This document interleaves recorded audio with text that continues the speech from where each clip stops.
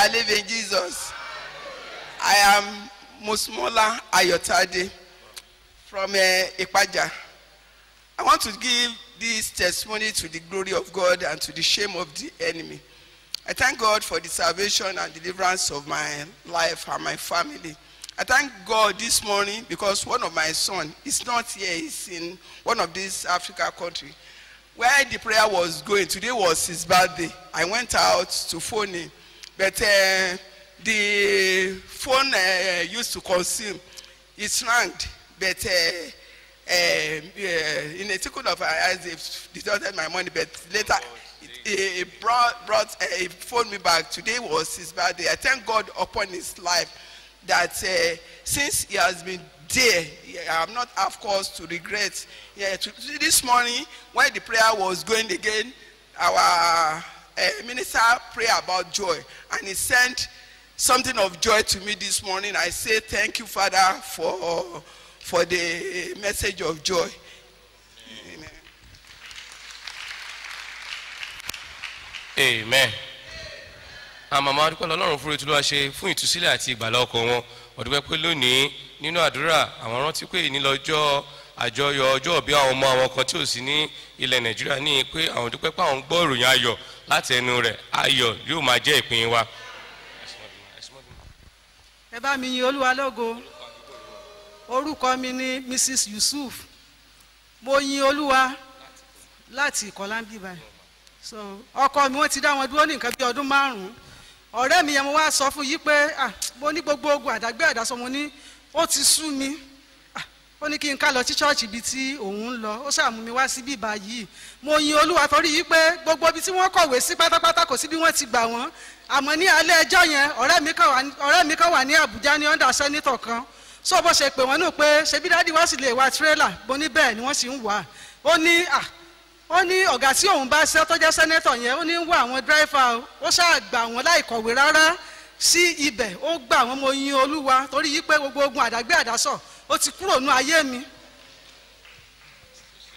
Jésù ò ṣe ẹ bá mi pé jésù ò ṣe o. Adú- adúrú nǹkan báyìí lẹ́ ń pamọ́ra mo ní adúrú nǹkan báyìí náà ń pamọ́ra amen. Kò sí náà lórúkọ jésù sátani ò ní pa ibi mọ́ wa lára. Ire ayọ̀ ayé wa yóò bù jáde our mom is something God God did in her life that he was invited there that she her husband was stopped for a particular job for five good years and she was one catering for every expenses. But to God be the glory she came here.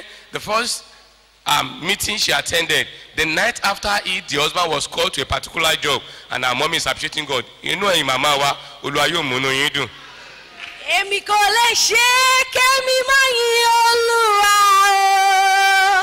èmi kò lè ṣe é kémi yin olúwa o. Bàbá mi ló jẹ́ ọlọ́run àgbàlagbà. Bàbá mi ló jẹ́ ọlọ́run àgbà òye. Èmi kò lè ṣe é kémi yin olúwa o. Hallelujah. Praise the lord. Tèmítáyọ̀ ní orúkọ mi láti àyọ̀bọ̀ mo dúpẹ́ lọ́wọ́ ọlọ́run orí òkè yìí. Torí ngbà tí mo máa wọnú ìjọ yìí tòmíjé ni mo wọnú ìjọ yìí. Mo dúpẹ́ torí pé ọlọ́run orí òkè yìí ó yanjú gbogbo ìṣòro mi. Ní ọjọ́ sunday ni mo lọ́ǹchì àwo kejì mi tí mo wá kọ níbi bí. Ọlọ́run gba ìṣàkóso ju bí mo ti léèrè lọ. Arúgbó ọjọ́ sọ̀kalẹ̀ sínú gbọ̀ngàn yẹn.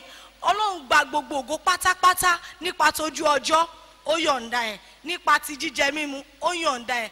Ìrìn àjò àwọn ènìyàn ó ṣe é ní ìrọ̀rùn. In fact inú mi dùn gidigidi gan torí pé ọlọ́run orí òkè yìí ó gba ìṣàkóso kò jẹ́ kójú ó tì mí. Ẹlẹ́ẹ̀kejì ni wípé tí n bá ti ibi tí n bá ti lọ kọrin tí n bá ti débẹ̀ tí n bá ní ọlọ́run ọmọlẹ́wà ìwọ tó ń fi àṣẹ ìrọ̀rùn bá bàbá mi rìn ó yá mo fẹ́ kó bọ́ sójú iṣẹ́. In fact ó máa dàbí ẹni pé àwọn áńgẹ́lì yẹn máa sọ̀kalẹ̀ wọ́n máa gba iṣẹ́ ṣe mo dúpẹ́ lọ́wọ́ ọlọ́run fún yẹn. Ẹlẹ́ẹ̀kẹta ìgbà àkókò kan wà jẹ́ pé ọkọ mi máa ń sick almost every two weeks three weeks. Kíní ẹ̀ wá sọ fún mi pé ṣé o máa fún ní omi aláyọ̀ mu? Mo ní ah tọ́mà ni. Àtìgbà tí mo ti fún ọkọ mi lómi aláyọ̀ mu in fact kò sí nǹkan tó ń jẹ́. Kò sí nǹkan tó ń jẹ orí fífọ́ kò sí nǹkan tó ń jẹ ara rẹ̀. Ẹ bá mi sọ pé jésù ò ṣe tẹ̀mẹ́ta. Jésù ò ṣe jésù ò ṣe o. Amen. Our mommy is so joyous, appreciating God for the success launching of our second album on Sunday, that God took control in every ramification. And secondly, is appreciating God that God uh, he came to this church with weeping, that God has wiped away our tears. And lastly, that her husband often uh, sick frequently, but God be the glory through the use of the prayer water. God healed the husband perfectly, and she's appreciating God for this this morning. orúkọ mi ní elizabeth mò ń gbé ní ìpájà mo wá dúpẹ́ ní mo wá dúpẹ́ ní orí òkè fún oore ńlá tí ọlọ́run ṣe nínú ayé mi àti lórí omi aláyọ̀. Àkọ́kọ́ tí mo máa kọ́ ṣe ni pé mo dúpẹ́ pé ọmọ mi obìnrin àti ìyàwó ọmọ mi láàárín ọ̀sẹ̀ kan náà pẹ̀lú omi aláyọ̀ tí mo ń fún wọn àwọn méjèèjì dẹ̀ bímọ wẹ́rẹ́ láì ṣe operation láìpẹ́ àlọ́ thirty minutes lọ ẹ pàtó tó dáa fún jésù náà yé wọn. Ìkejì brother mi kan mo fẹ́ lọ sọ́dọ̀ wọn tẹ́lẹ̀ wọ́n á pè mí pé ah tí- ṣé jọ́ òní mo níjọba yìí ni màá ní àwọn ọmọ wọn wọ́n ti gbé wá láti èkó. O bó sì kí pé inú ń run o wọ́n ti try gbogbo hospital ní èkó pé wọ́n ti gbé wá sábẹ́kúta mo ní mo dẹ̀ ń bọ̀ wọ́n ní òkè kí n máa bọ̀. Pé bẹ̀tí láǹtòrò làwọn ń gbé lọ. Mo ní sókè nígbà tẹ́mi dẹ̀ ń bọ̀ mo kó mi aláyọ̀ méjì dání. Ìgbà tí máa délé mi ò bá wọn lóòótọ́ mo á pè wọ́n. Wọ́n ní wọ́n ní kí n má ti wà pé àwọn máa bá mi lé. Ìgbà tán dẹ̀dẹ̀ wọ́n mọ ọmọ yẹn dání wá mo bá dẹ̀ ṣí báàgì mi mo já kan mo fi sẹ́nu fún ara mi. Mo bá fún un lẹ́kan lé wọn lọ́wọ́ mo ní kan bá mi já wọ́n já. Mo ní káwọn náà mú o wọ́n mú. Mo ní wá bá mi ọmọ yẹn wá ń bì tó jẹ́ pé inú yẹn ń rún gidi nǹkan tó pé kò lè lajú kò lè ṣe kankan. Mo- ṣáà kí wọ́n já omi yẹn kan fún mu wọ́n fún mu wọ́n ní kan dà sí ní ẹsẹ̀kẹsẹ̀ ọmọ yẹn ò sọ pé inú rùn mo kàn lọ sùn ní straight títí dijọ́ kejì tí mo fi kúrò ńbẹ̀ kò sọ pé inú yẹn rùn mo dúpẹ́ lọ́wọ́. Amen. Our mom is appreciating God over uh, a child and also over a sister-in-law, that is the wife of a, of a child, that God delivered them within a week successfully. And secondly, through the use of the prayer water also, God delivered a cousin from a stomach upset that had been taken here and there from one hospital to the other, even to Kwakwalanto. But God be the glory through the use of the prayer water, God delivered uh, the sister safely. praise the lord praise the living jesus. Orúkọ mi olúfúnmiláyọ̀ ikú ọmọlá láti àparadìjà ohun tí olúwa ṣe fún mi ní ọjọ́ anniversary day yẹn. Ìgbà tí wọ́n the first prayer point ni pé irúgbó òkùnkùn kí olúwa kó ti jáde. Mo dúpẹ́ dípẹ́ nínú ọ̀sẹ̀ yẹn gangan olúwa fi ìran yẹn hàn mí. Ohun tí mo kó jáde ní ẹnu mi tó jáde ní ẹnu mi àti okùn tí ọlọ́run tó tú jáde bí mo ṣe ń fà báyìí ní okùn yẹn ń tú ló ń tú mo dúpẹ́ nítorí pé irúgbọ́n òkùnkùn tó wà nínú ayé mi ọlọ́run ẹ̀mí mímọ́ ó tú jáde ó tú jáde pátápátá. Ẹ bá mi sọ pé jésù ṣe lẹ́ẹ̀mẹ́ta.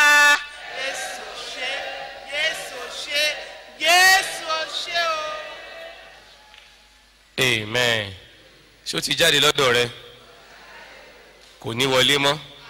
Our mom is God God did during the anniversary day that the first prayer point was that God should push out that God should flush out every evil seed that evil seed seed of the enemy and truly after the program she saw in her dream that there was some strange thing coming out of her mouth and even and even um, rope coming out that is a, a that was used to tie her down that God released her from that bondage Praise the Lord.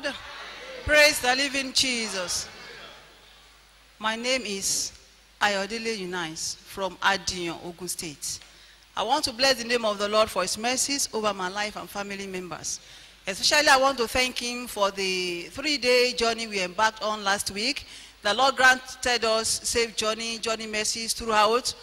On, uh, for the three days we were on the road throughout and the Lord took absolute control, no accident, no car breakdown. I really want to bless the name of the Lord because it has been a long time we embark on such a journey. Praise the Lord. I'm also, I want to bless the name of the Lord because the family we went to see for a purpose, they were having sorrow over a matter and the Lord made a source of joy to them. And I want to pray you too, the Lord will make a source of joy in the name of Jesus.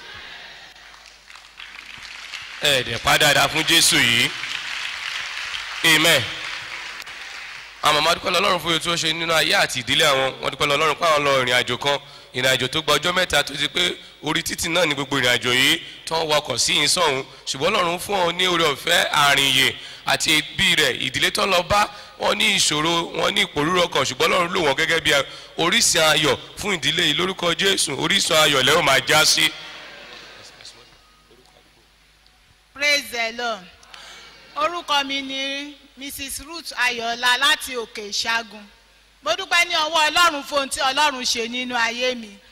Lórí ọmọ mi obìnrin mo dúpẹ́ pé ó lọ sí ipò lóyún ó sì bímọ ní ayọ̀ àti àlàáfíà. Bí mo tilẹ̀ wá sí ọ̀dọ̀ bàbá wọ́n ní kí a máa gba àdúrà fún un ní pé nítorí ọjọ́ ìkúnlẹ̀ rẹ̀. Mo dúpẹ́ ní ọwọ́ ọlọ́run pé olúwa gba gbogbo ògo. Nígbà tó di ọjọ́ sunday mo tún wá sí ọ̀dọ̀ dádì. Wọ́n ní ṣé ó ti bímọ ni? Mo ní kò tí ì bímọ. Wọ́n ní kí n máa sọ pé jésù ò ṣe mo dúpẹ́ torí pé jésù ṣe ó gba gbogbo ògo nínú ayé ọmọ náà mo fún ní omi aláyọ̀ mo dúpẹ́ tó sì bí ọmọkùnrin náà ní ayọ̀ àti àlàáfíà ní ọjọ́ sunday ẹ bá mi yin olúwa lógo. ẹ dẹ̀ yín dáradára but amen our mom is appreciating God for safe delivery of a daughter that through the use of the prayer water and thank you Jesus it will work for you. Praise the Lord. My name is Kate Osharivemu. I'm from Unity, a member of this church. Praise the Lord. I'm here to thank my Lord Jesus Christ for the scale which He removed from my eyes since I've been here in this mountain. Now I cannot know all He went through for me another of His handmaid on the cross of Calvary. Praise the Lord.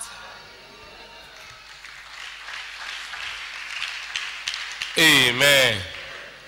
Wọ́n dúpẹ́ lọ lọ́rùn fún olúwa ṣe lórí òkè inú ayé àwọn. Ipò olúwa yọ ìpẹ́pẹ́ kúrò lójú àwọn. Àwọn lè wá rí ohun tí olúwa là kọjá lórí igi àgbélébù èyí tí ń ṣe pàtàkì nínú ayé ẹ̀dá àti ìṣọ́ ọwọ́ rẹ̀. Ó ṣiṣẹ́ fún ayé àwọn ṣé ó ti ṣiṣẹ́ láyé rẹ̀ bí.